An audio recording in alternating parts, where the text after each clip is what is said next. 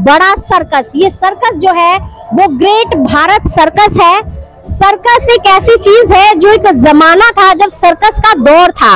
लेकिन आज लोग अपनी अपनी ज़िंदगी में इतने बिज़ी हो गए हैं कि सर्कस देखने के लिए उनके पास टाइम ही नहीं है। लेकिन वाकई में सर्कस एक मनोरंजन का वो साधन है। मनोरंजन की वो चीज़ है जो आपको सारे दुख सारी तकलीफें और सारी टेंशन भुला देती है। यहाँ पर जब आप सर्कस देखने आते हैं, लोटपोट हो जाते हैं और कुछ टाइम के लिए आप अपने चारों तरफ़ का जो माहौल है एकदम खुशनुमा पाते हैं। ये वो सर्कस है जिनमें आपको छोटे छोटे बोने, अपनी अदाकारी करते, अपनी कलाकारी करते दिखाई देंगे। साथ में यहाँ और भी कई चीज़ें जो है सर्कस में दी गई है। आज हम आपको सर्कस दिखाने इसीलिए लाए ताकि आप भी देखें और अपने नियर बाय अगर कोई सर्कस लगा है या आप यहाँ के आसपास में रहते हैं तो सर्कस देखने ज़रूर आए और कुछ देर के लिए अपनी टेंशनों से छुटकारा पाए।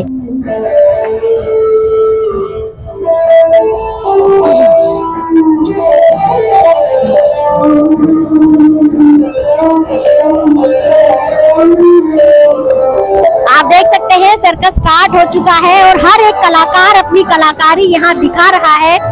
और वो देखिए, पीछे मैं आपको दिखाना चाहूँगी, दो बोने खड़े हैं जो कि अपनी बारी का इंतज़ार कर रहे हैं और अभी शुरुआत हुई है तो लोग अभी आने शुरू हुए हैं। धीरे धीरे सभी चेयर्स जो है वो भर जाएँगी। बच्चे और बड़े साथ में हमारे बुज़ुर्ग भी इस सर्कस का लुफ्त उठा रहे हैं।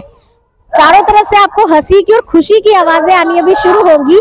तो आप समझ सकते हैं कि सर्कस हमारी ज़िंदगी में कितना महत्वपूर्ण अपनी एक अदा है अपनी भूमिका है जो वो निभाता है और सारे दुख सारी तकलीफें छूमंतर हो जाती है। आइए आपको पूरा सर्कस दिखा देती। भैया क्या नाम है?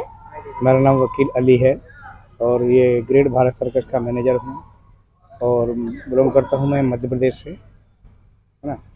और हम तीन चार साल बाद मतलब कोरोना से उसके बाद पहली बार लेकर आए हैं सर्कस। और सर्कस एक ऐसी चीज़ है जो कि मतलब कला है एक मेहनत का खेल है कसरत है। तो वैसे तो कोई कर नहीं पाता और आज की नई पीढ़ी को तो मालूम ही नहीं सर्कस क्या होता है है ना? तो पहले लोग देख चुके हैं वो बात अलग थी मगर अब किसी भी बच्चे से पूछो सर्कस बेटा आपने देखा?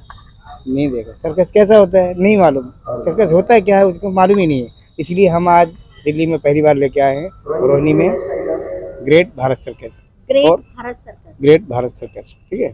और सर्कस में हम दिखाते हैं जिमनास्टिक, मेहनत का खेल, कसरत का खेल मतलब जैसे कि हमारे जो कलाकार हैं, अपनी भरपूर मेहनत से खेल करके रोजी रोटी कमाते हैं। और सरकार से तो ऐसा कुछ रिस्पॉन्स है नहीं कि सरकार हमको कुछ रिस्पॉन्स देती हो, ऐसा कुछ नहीं। तो सर्कस क्या है? जिमनास्टिक, लेडीज़ जेंट्स का खेल, जो का खेल, और हमारा एक लगा हुआ अंदर मौत का कुआ। मौत का गोला उसके अंदर मोटरसाइकिल चलती है गोल राउंड भी चलती है क्रॉस भी चलती है वो भी एक, एक खतरनाक खेल है ज़िंदगी और मौत का खेल है इस तरीके से हम लोग लोग अच्छा वैसे लगभग कितने सालों से आप ये सर्कस लगा रहे हैं? सर्कस तो समथिंग हम काफ़ी दिनों से चला रहे हैं और अभी लॉकडाउन में काफ़ी कहानी खराब होगी। जैसे कितने दिन से स्टार्ट हुआ है यहाँ रोहिणी के अंदर? अभी यहाँ रोनी पे सात तारीख से चालू किया हमने। भीड़ भाड़ कैसी रहती है? भीड़ भाड़ तो अभी स्टार्टिंग है लोगों अच्छा, को starting पता कम चला है। मतलब अभी लोग अवेयर नहीं है सर्कस जी। को लेकर।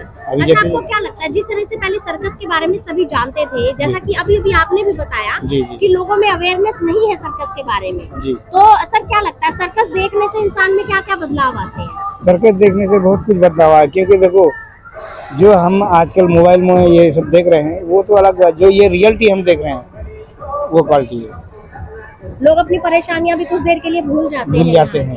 मनोरंजन जो उनकी टेंशन है वो सारी भूल ये होता कैसे सर्कस ये बात है। अभी और कितने दिन चलने वाला है? अभी चलेगा ये something twenty five day twenty five days ये. चलेगा। अच्छा और क्या क्या अंदर फैसिलिटी है जो आप प्रोवाइड कर रहे हैं? मतलब जैसे कि जनता अगर अंदर है हाँ। तो सर्कस देख रही है तो खाने पीने की कोई चीज़ भी है? खाने पीने की चीज़ हमारा स्टॉल है। अच्छा स्टॉल लगे स्टॉल लगा हुआ है। स्टॉल में क्या क्या चीज़ें आपने स्टॉल में आइसक्रीम है कोल्ड ड्रिंक्स है पानी है और चिप्स वगैरह है।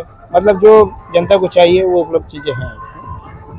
अभी हमने अंदर आपको सर्कस दिखाया। अब आपको बता देते हैं कि आपके खाने पीने की चीज़ें कहाँ मिलेगी। ये स्टॉल लगे हैं। आप देख सकते हैं आपके लिए यहाँ पर सभी तरह के स्नैक्स भी मौजूद है। कोल्ड ड्रिंक्स भी मौजूद है।